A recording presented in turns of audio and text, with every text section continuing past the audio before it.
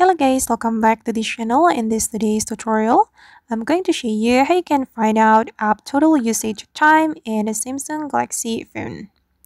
Okay, let's get into it guys. Here I have opened my Samsung Galaxy phone and first of all, we need to open our settings application and we have to go to the battery setting or battery option okay and you just need to scroll down until you find this option and you have to click on view details okay and here you'll be able to get a battery activity in your edge application.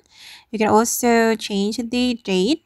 As you can see the samsung galaxy phone has provided us um, battery activity of each date and we can tap on the date to check it. Then you can also tap on this option to get the exact time when you are using your application you just need to check right here. And you will get the detailed information of each app.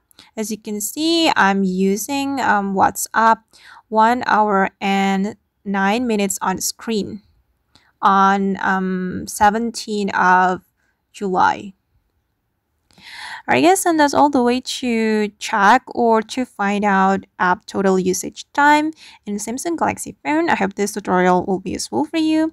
Thank you so much for watching and see you in the next video.